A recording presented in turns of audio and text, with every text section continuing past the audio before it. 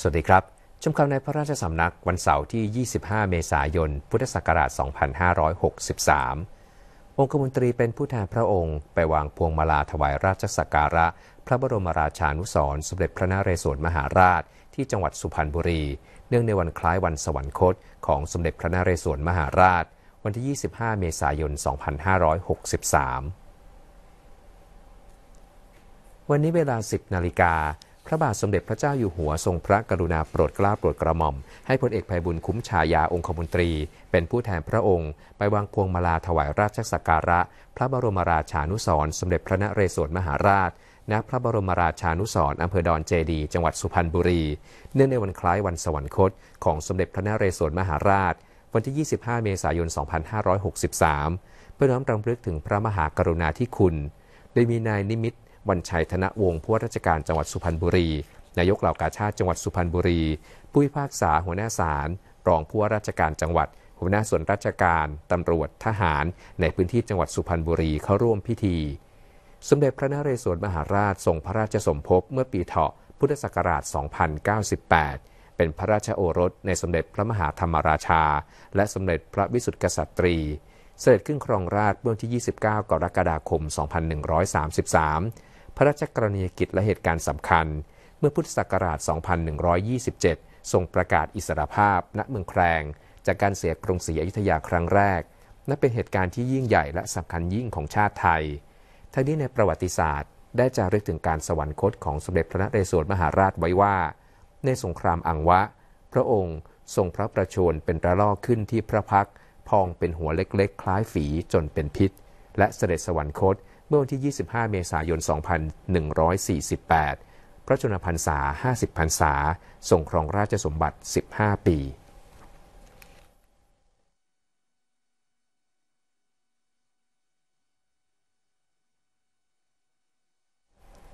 พระบาทสมเด็จพระเจ้าอยู่หัวและสมเด็จพระนางเจ้าพระบรมราชินีทรงพระกรุณาโปรดเกล้าโปรดกระหม่อม ให้เชิญถุงยังชีพพระราชทาน ไปมอบแก่ประชาชนในพื้นที่กรุงเทพมหานคร ที่ได้รับผลกระทบจากการแพร่ระบาดของโรคโควิด -19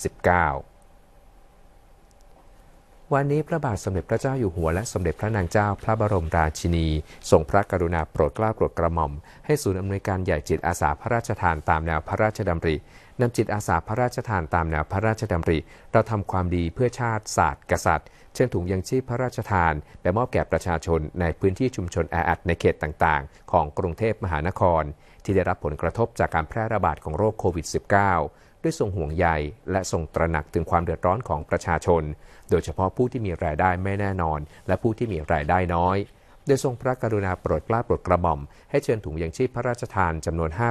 5,446 ถุง ไปมอบให้แก่ประชาชนพื้นที่ 6 เขต ได้แก่ เขตธนบุรี เขตบางซื่อ เขตบางกอกน้อย เขตมีนบุรี เขตสายใหม่ และเขตหนองจอก รวม 26 ชุมชน อาทิชุมชนโกบอพัฒนา ชุมชนโรงเจหนึ่งชุมชนสุทธาราม ชุมชนวัดประดู ชุมชนตรอกไผ่ชุมชนหลังวัดดุสิตาราม ชุมชนพรานนกซอยเก้าชุมชนริมคลองลาดบัวขาวตะวันออก ชุมชนคลองลำไผ่ชุมชนริมคลองสองชุมชนริมรั้วทออชุมชนภูนทรัพย์ ชุมชนส่งเสริมศิลธรรม ชุมชนมิตรไมตรีสัมพันธ์ และชุมชนแผ่นดินทองคูบนพัฒนา ซึ่งประชาชนส่วนใหญ่ประกอบอาชีพทำงานโรงงาน ค้าขายในชุมชน รับจ้างรายวันทั่วไป ขับรถแท็กซี่ ขับรถจักรยานยนต์รับจ้าง เก็บของเก่าขายมีรายได้ไม่แน่นอน การได้รับถุงยังชีพพระราชทานอย่างความซาบซึ้ง และสำนึกในพระมหากรุณาธิคุณของพระบาทสมเด็จพระเจ้าอยู่หัว และสมเด็จพระนางเจ้าพระบรมราชินีเป็นล้นพ้น ที่ทรงห่วงใยประชาชนทุกหมู่เหล่า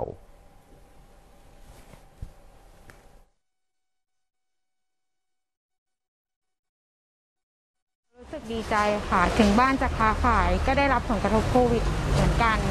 รายได้ลดลง แล้วก็ที่บ้านก็มีภาระเยอะ มีเด็กเยอะ มีทั้งคนแก่ที่ต้องดูแล ก็ถือว่าโชคดีที่มีรอสิบที่ยังมีพระมหากรุณาธิคุณช่วยเหลือคนไทย ถือว่าเกิดเป็นคนไทยก็โชคดีมากค่ะ ทั้งนี้ตั้งแต่วันที่ 5 ถึงวันที่ 24 เมษายน 2563 ทรงพระกรุณาโปรดเกล้าโปรดกระหม่อม ให้เชิญถุงยังชีพพระราชทานไปมอบแก่ประชาชนในชุมชนต่างๆ ในพื้นที่กรุงเทพมหานคร และชุมชนในจังหวัดปริมณฑลไปแล้วจำนวน 181,011 ถุง เพื่อช่วยบรรเทาความเดือดร้อนในการดำรงชีวิต จากการได้รับผลกระทบจากการแพร่ระบาดของไวรัสโควิด -19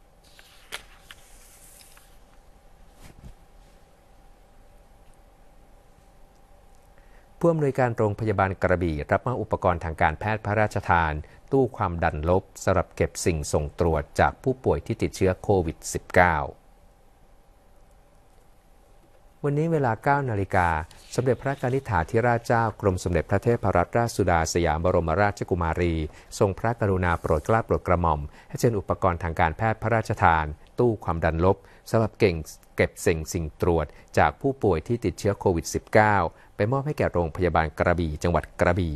ซึ่งพระราชทานพระราชานุญาต ให้บูรณิธิชัยพัฒนาใช้งบประมาณจากกองทุนชัยพัฒนา สู้ภัยโควิด -19 และโรคระบาดต่างๆ จัดซื้อ เพื่อพระราชทานแก่โรงพยาบาลต่างๆโดยมีนายแพทย์สุพจน์ผูก้าวล้วน ผู้อำนวยการโรงพยาบาลกระบี่นำคณะแพทย์พยาบาลและบุคลากรทางการแพทย์ ร่วมรับมอบอุปกรณ์ทางการแพทย์พระราชทานดังกล่าว หน้าพระฉายาลักษณ์ สมเด็จพระนิษฐาธิราชเจ้า กรมสมเด็จพระเทพรัตนราชสุดาสยามบรมราชกุมารียังความซาบซึ้งในพระมหากรุณาธิคุณเป็นล้นพ้นหาที่สุดมิได้ ที่พระองค์ทรงห่วงใยในการปฏิบัติหน้าที่ของแพทย์ พยาบาลและบุคลากรทางการแพทย์ ที่มีความเสี่ยงต่อการระบาดของโรคติดเชื้อไวรัสโคโรนา 2019 หรือโควิด -19 รวมถึงผู้ป่วยโรคโควิด -19 ด้วย